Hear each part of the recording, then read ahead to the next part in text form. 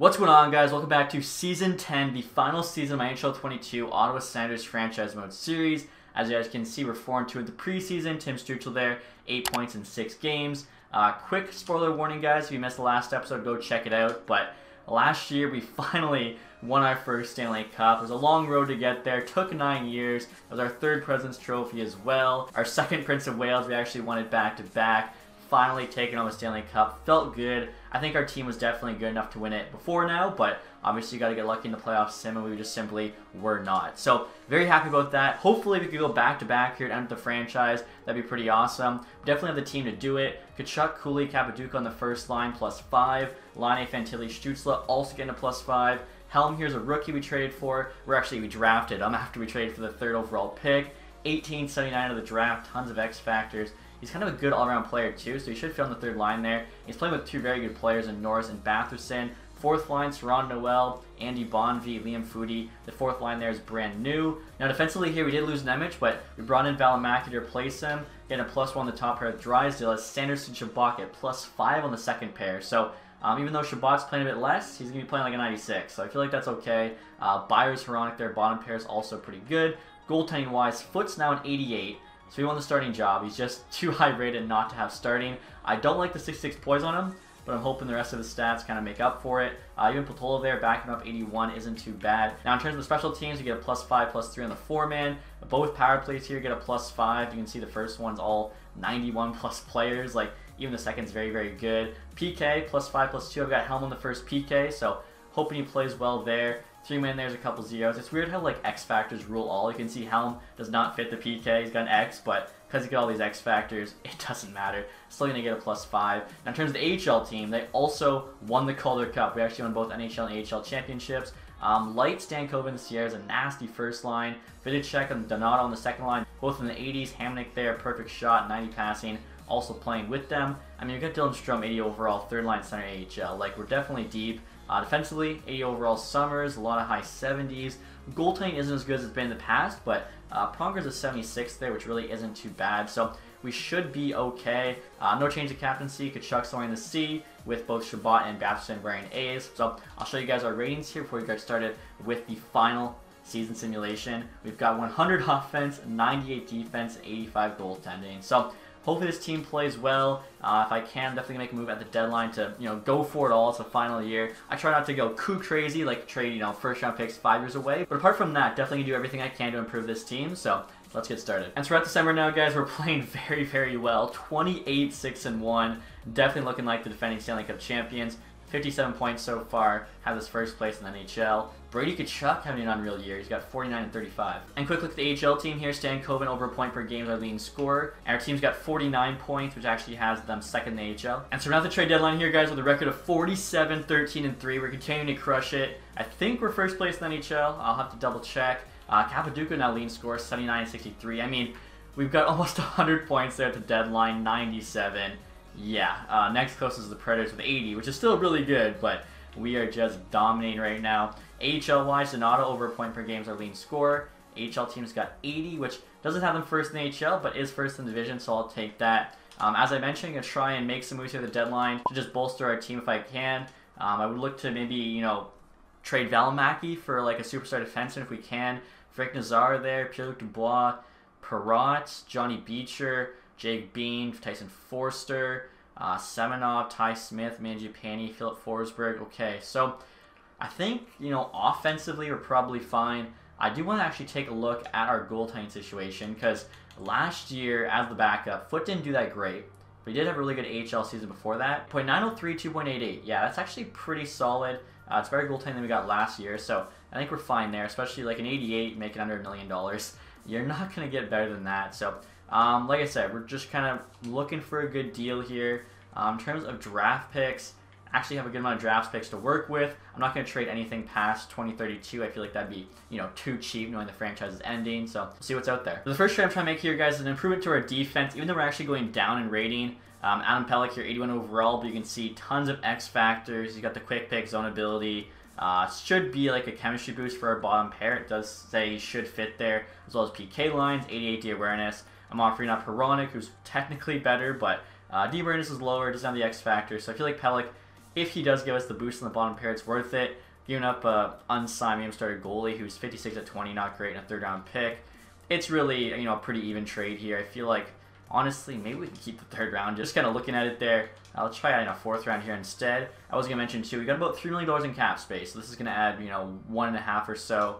And the Flyers say yes. Okay, so not done quite yet. There's a couple other moves I'd like to make. And next year, guys, trying to trade Seattle Kraken for Philip Broberg on the block. 85 overall D-man. Going to have him on the bottom pair, probably with Adam Pelech. So just kind of redoing that bottom pair. Really did was a solid top six. D, 89D awareness there. Good all-around defenseman.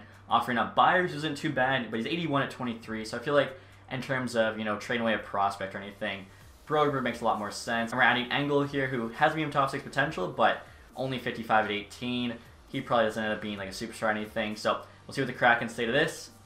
Trades accepted. Okay, so I feel like those are a couple nice moves for us. And next year, we're going to get another big trade to New York Islanders for John Beecher. 89 overall. I think he'll actually be a third-line left winger for us. You can see there, solid shot, but most importantly, the 93D awareness, 99 offense awareness. Uh, should just be kind of a good all-around help to the team. Bombi here's not a bad player. 84 overall. He's actually got 90 accuracy. I didn't realize that. For some reason, I thought it was 90 power. 90 passing as well. Good D awareness, but He's playing fourth line. I feel like we can get John Beecher in. It makes a lot of sense. Humphrey here, decent prospect. We have a lot of good forwards. A second, two fourths. Let's see what the Islanders say. The value's pretty equal. Trades rejected. Okay, so um, one thing we could do is just make this a third. Um, I think in that case, though, I saw I actually had an extra fourth rounder next year. We'll do that. Second, third, fourth. Trade still rejected. Okay, so I did see that they had a defenseman they liked of ours. Wasn't anything crazy. Holmes, 2173. Um, I think we could do this and then maybe add like a second round pick this year, that extra fourth I have in 2032. This is a big package. I feel like they should say yes now. Wow. Trade is still rejected. Um, I mean, if we're going for it, a second, a third. Are you kidding me? Okay, so I really didn't want to have to use 2032 picks unless like I absolutely had to. So maybe we'll try a first round pick at 2032 instead of the second this year. We'll have to include that third they still say no, running out of time, eight minutes left. A first, a second, a medium top six, a medium top four, and Bonvi, who's a good player for John Beecher. Wow. I don't really know. I feel like that was actually a really good offer. I'm not, I don't know. Um, we could trade like Light there or somebody. Trade lines up. Yeah, I thought that was a very good offer. Honestly, surprised I said no, but that's okay. We kind of like revamped our defense, which I thought you know Bomb Pair D was probably weakest spot on the team.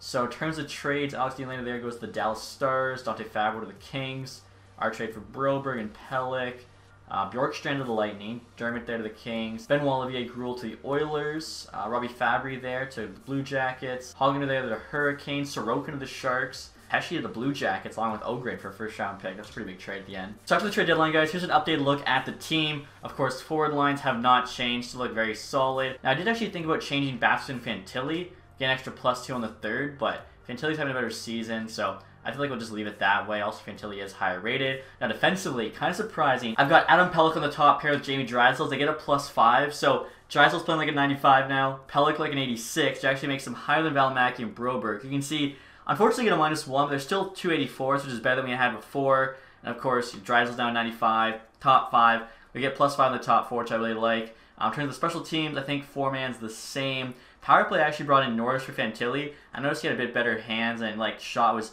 a bit more accurate, just less powerful. And PK, I've got Pelech playing here as well, so we actually get plus five on both. Also, the second three man's a plus five, so I think you know he was definitely worth it just for that X Factor bonus. It's kind of dumb, I know, kind of unrealistic how player, even though he's older now, dropping in rating, gives us all these boosts just because uh, he used to, you know, be a star, have the X Factors. But that's the way it is. So hopefully, you know, those trades help our team out. We'll see how we do here in the last month and a half or so. And we're not in the season here, guys. The record is 62, 15, and 5. I think this is our best regular season yet. Like, that is insane. 129 points on the year.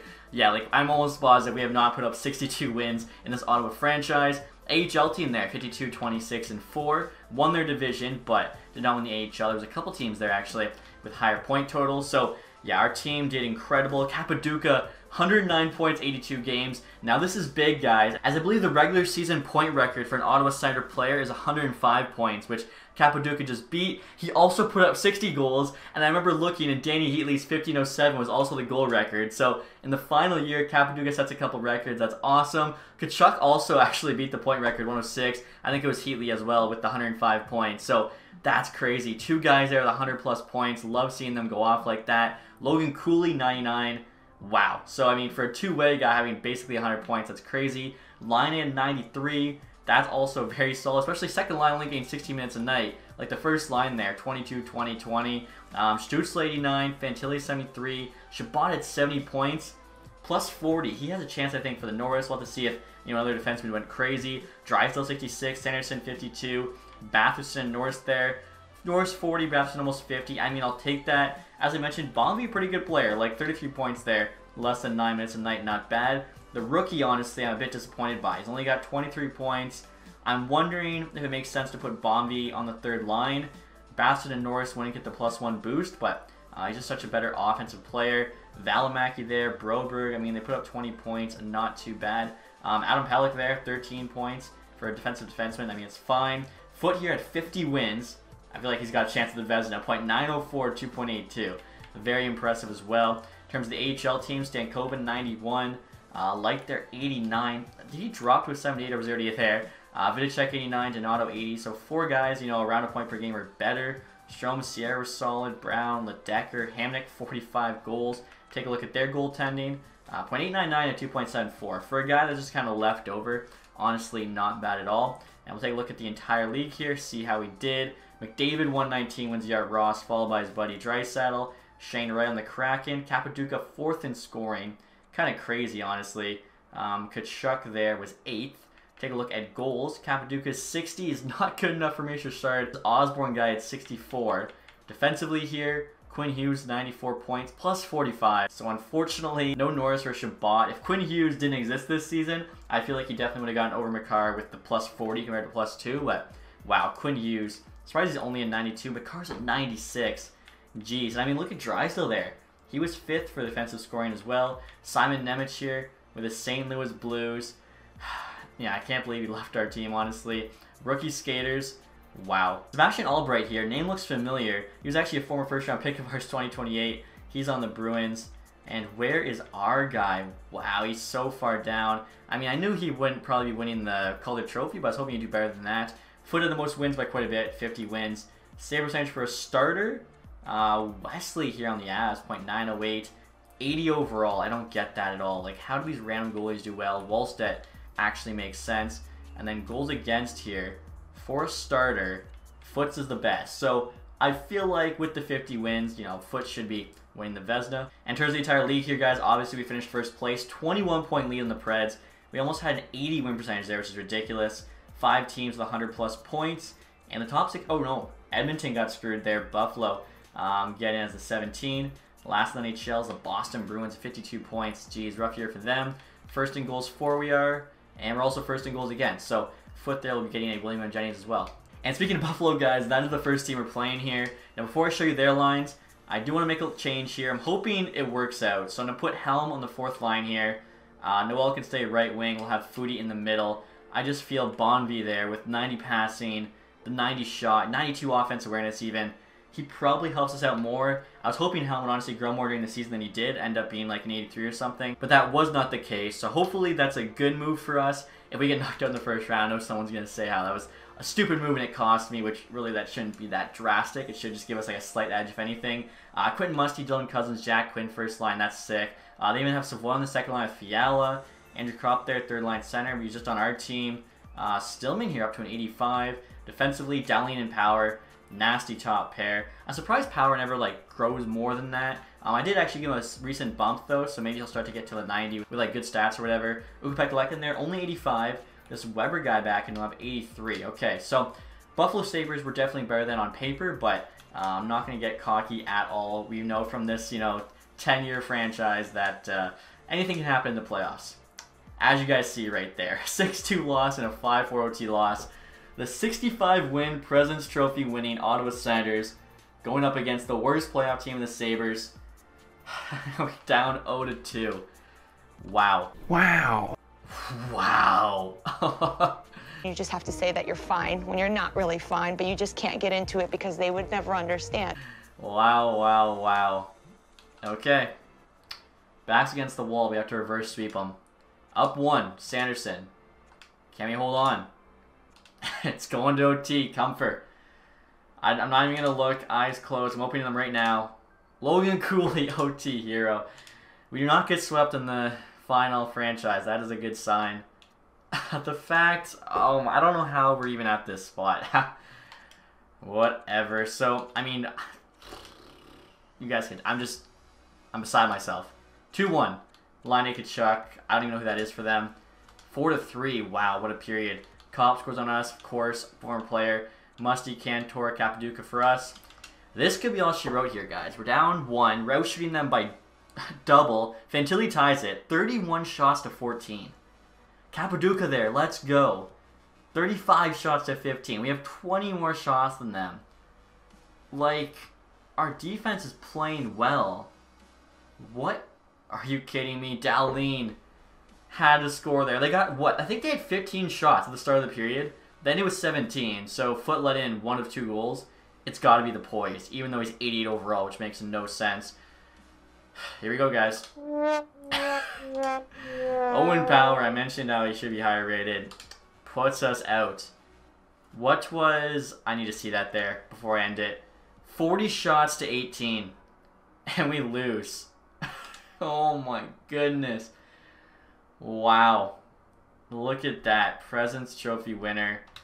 At least we got a Stanley Cup last year because, as you guys saw there, like the playoffs are just a joke.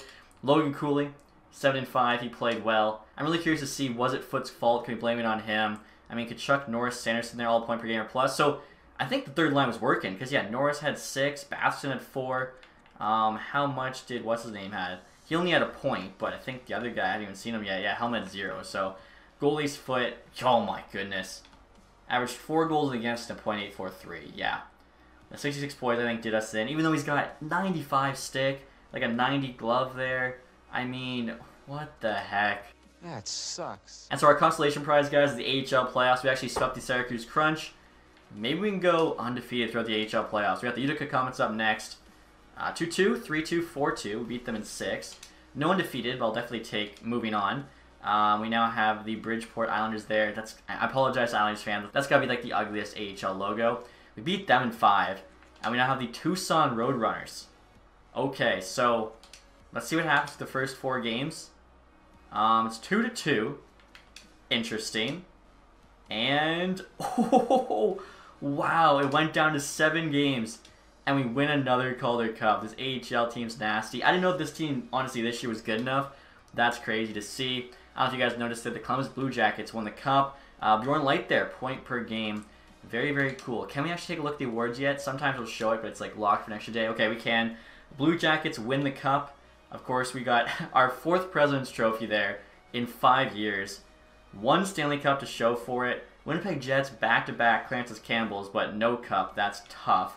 And of course, you know, we had two Prince of Wales there. Did St. Louis win a cup either of the years they went? They did win one, okay.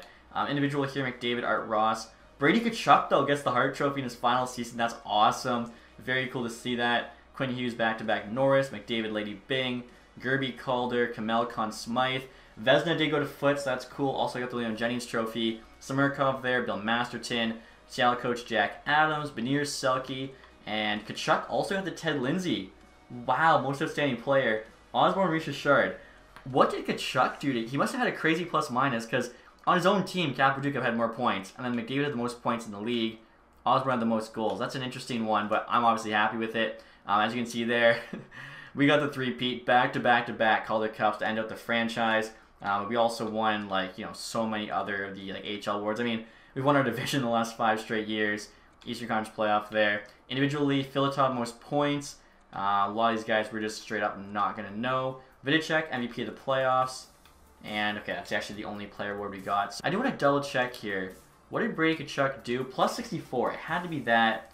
Game-winning goals, 9. Kapduka and more. Uh, had more just regular goals in general. Uh, decent amount of penalty minutes. It wasn't like he was low on that. I feel like it had to be his plus minus. And yeah, look at that. He had the best plus minus in the league. While also being the eighth highest scorer. So kind of cool to see that. He's usually just the guy with the most points. Although you don't want to rely too heavily, I'd say, on the plus minus. Uh, before I you know, resume any more, I do want to take a look at the coaching staff. It'll kind of give us an idea of our whole 10 years. So head coach they actually end up being A plus everything, but coach influence was A. Coach influence usually is the most important stat. Um, look at the awards: one Stanley Cup, four Presidents trophies. Again, very unlucky in the playoffs there. And of course, we were building like the first few seasons. So after we got done with that, we basically dominated the NHL. Unfortunately, just you know couldn't turn it really into playoff success. I can see there, win percentage 62.3, I think is very good. Uh, team fit, all this other stuff. Doesn't really matter, but uh, cool to see and nevertheless. I mentioned to you guys the record book as well. We will take a look at that. So in terms of the all-time records, we did not set any because Daniel Alfredsson was simply not going to be touched. Now looking at the season records here, as I mentioned, check that out. Capaduca now has the goals and points record. And as I said too, uh, Kachuk would beat the points as well. Didi Keeley, of course, at 1507 with 105 points. Rookie here, unfortunately, no, we did not send anything. And last I checked, we didn't have any game records, but okay. I was hoping, like, you know, Cavaduca went off or something this year. I mean, four goals. We saw Perfetti have four goals on us, so um, if we tie it, I'm guessing you have to break it to probably have it show you instead of them. Now, we can take a look here, too, at the entire NHL just to see if, you know, any new names came up. Obviously, last season we took a look at Crosby. Matthews is fifth now on the all-time goals list. Kind of cool to see that. Wins, Fleury finished second. Uh, shutouts there. Fleury's not on it. 50 goal seasons, Ovechkin 10. Didn't he just put up like his, what, ninth in real life? So he must have slowed down there a lot. Matthews has 7. 100 point season. David 12. He's actually closing in on Gretzky. That's kind of nuts. So there you have it, guys. That's our franchise. I think this was a story of a great team that for whatever reason just could not get done in the playoffs. I'm really just going to chalk it up to bad luck because at the end of the day, that's pretty much all it was. I'm uh, gonna wait here to see, you know, that little pop-up that lets us know the franchise is all done. It's a legendary thing, you know, EA has for you when you finish a 10-season franchise. Islanders there, jump from 11 to 1, the first overall pick. Few retired players here. John Tavares retires in the last year. Mark Stone, Marcus So, Zibanejad. You know what I'm realizing, guys? I actually don't think I said to 10 years. I think I said to more, that way I could, like, make sure I could see everything, which I'm realizing now. Um, Allmark there also retires, so um, there you have it, guys. That is our franchise. Also, guys, I'm going to have a poll up both my YouTube and Twitter asking you which team I should be for my next franchise mode series. The options are the Buffalo Sabres, Detroit Red Wings, Montreal Canadiens, or a fantasy draft team, as those seem to be the top response on the last episode. So if you want your voice heard, go and vote on that poll. But that's going to do it, guys, for this video and the series. Thank you guys so much for all the support on it. It really means a lot to me. Uh, we're going to probably get that next series started as soon as possible. And if you guys have made it this far, please do me a favor. Leave that thumbs up. If you somehow haven't subscribed yet, hit the sub button down below. And as always, guys, thank you so much for watching. Have a nice day. Goodbye.